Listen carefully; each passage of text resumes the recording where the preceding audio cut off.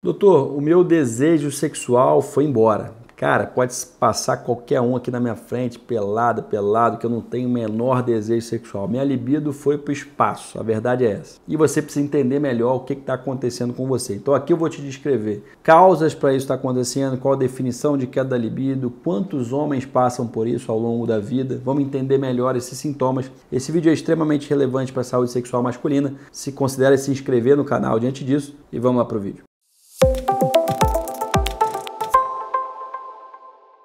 Meu nome é Matheus Ferreira Amaral, eu sou urologista, trabalho muito na área de uro-oncologia, cirurgia robótica e andrologia. Queda da libido é algo extremamente frequente aqui no consultório, na internet, vídeo e tal, o pessoal sempre assiste. E muita gente ele tende a vir aqui no consultório já com a cabeça voltada para uma reposição hormonal. Minha libido está baixa, então o problema é minha testosterona. Mas nem sempre é assim, né? A gente tem que entender melhor, porque tem várias outras causas que podem estar associados. Mas primeiro vamos definir o que é queda da libido, o que é falta de desejo sexual, como que isso é definido. O fato de você ter sentimentos, impulsos, fantasias sexuais diminuídos na sua cabeça, você não enxerga motivos para se engajar sexualmente com nenhuma parceria e principalmente isso gera sofrimento para você e eventualmente se você tiver uma parceira, uma um parceiro, isso causa um sofrimento no casal. Isso é importante, porque muitas vezes você tem uma queda no desejo sexual, fantasias, impulsos e pensamentos,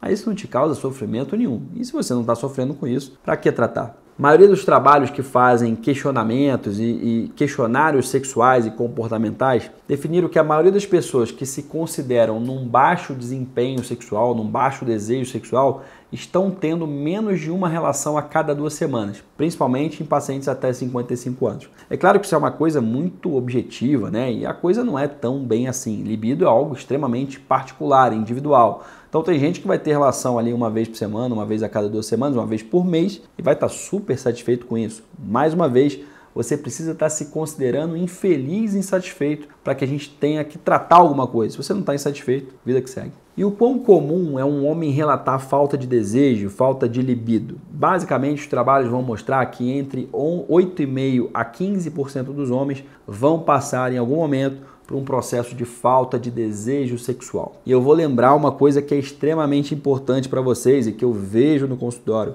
é normal eventualmente você ter uma queda no seu desejo sexual. Se você está passando por um problema no seu trabalho, se morreu um parente seu, se você está desempregado, se tem problema financeiro. Então, se você está passando por problemas na sua vida, é normal que naquele período você não tenha desejo sexual porque você está concentrado em outras coisas. Quando esse período se torna muito longo, e esse muito longo não tem uma precisão exata, isso começa provavelmente a tornar um problema e aí nesse momento você deve procurar ajuda. Mas vamos lá, vamos às possíveis causas por isso está acontecendo. Primeira coisa que a gente sempre pergunta aqui no consultório: que remédios você toma? Então, medicamentos. Medicamentos são extremamente importantes. Você faz tratamento para hiperplasia prostática benigna, uma próstata inchada, toma finasterida, dutasterida, isso pode baixar sua seu desejo sexual. Se você toma finasterida, dutasterida para calvície, para queda de cabelo, também pode diminuir seu desejo sexual, sua libido. Se você toma antidepressivos, antiepiléticos, ansiolíticos, remédio para dormir, tudo isso pode de alguma forma diminuir o seu desejo sexual. Então, primeira coisa, que medicações que você toma? Você vai parar de tomar essas medicações, porque eu estou falando aqui? Não. Você vai discutir com o seu psiquiatra, você vai discutir com o seu urologista outras formas de tratamento que não impactem tanto no seu desejo sexual. Doenças de base mal controladas. Então, por exemplo, DPOC, aquele paciente que fumou durante muitos anos, tem um enfisema, ele tem uma taxa de oxigenação ruim, ele dorme mal. Isso faz com que seu desejo sexual diminua. Diabetes mal controlado, obesidade, hipertensão, tudo isso faz com que você tenha um desejo sexual diminuído diante da, do mau controle dessas doenças. Então, o controle geral, lembrando, a saúde sexual ela acompanha a sua saúde de uma forma geral. Se você é obeso, sedentário, diabético, mal controlado, a sua saúde sexual também vai por esse mesmo caminho, também vai ficar muito ruim. Então, o controle da doença de base é fundamental. Aquilo que eu chamo de epidemias do século XXI, ansiedade, depressão, estresse, todas essas condições, principalmente ansiedade estresse aqui, elas vão levar a índice circulante de cortisol, adrenalina. Isso faz com que você não se sinta sexualmente estimulado. Então, você não se sentir sexualmente estimulado, você não tem aquele primeiro gatilho para ter uma ereção, para ter um desejo sexual. Então, é, ansiedade, estresse, depressão são causas super importantes e que devem ser tratadas de forma séria. Tem uma grande questão nisso aí que é muito difícil de lidar. Será que a falta meu desejo, do meu desejo sexual me levou à depressão ou é a depressão que levou à falta de desejo sexual? Isso às vezes é difícil de encontrar. E outra coisa importante, eu falei aqui mais cedo, os tratamentos para depressão leva a uma causa, uma queda do desejo sexual. Então, você vai tratar e aí o tratamento vai levar. Então, é muito difícil de lidar. Não é tão simples. Eu estou falando que é uma causa aqui, parece que é tranquilo de lidar. É extremamente difícil. O cara que está ansioso vai tratar a ansiedade, vai tomar um remédio para ansiedade que vai impactar. A ansiedade impacta na libido dele e o tratamento também impacta. Por isso que eu gosto muito de trabalhar com terapeuta, psicoterapia, porque aí a gente tenta fugir um pouco das medicações que, quando necessárias, têm que ser tomadas e paciência. Problemas de relacionamento, pessoal, é normal. Eventualmente ali você que tem um casamento de mais de mais tempo, né? É normal que em algum momento nessa trajetória, nessa estrada junto de vocês, em algum momento vocês tenham alguns deslizes, alguns problemas, alguns problemas de casal. Isso é esperado, normal. Resolvam. Vocês são casais, vocês se amam, vocês se gostam.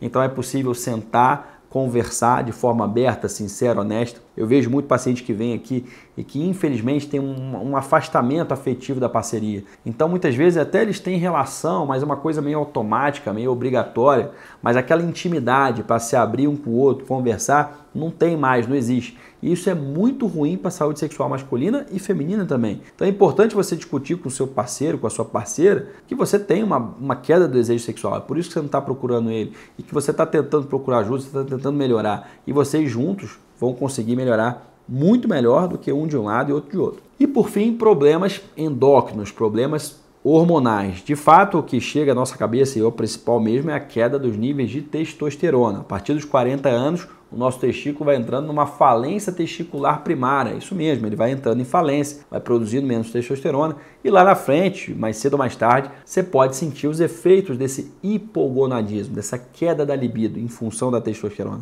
Tem outras causas hormonais também, como níveis aumentados de cortisol no sangue, seja porque você é um atleta de alto desempenho, seja porque você está estressado por outros motivos. Então, níveis aumentados de cortisol fazem com que você tenha uma queda da libido. Prolactina muito aumentada faz também com que você tenha uma queda de libido, pode ser um prolactinoma, um tumor produtor de prolactina.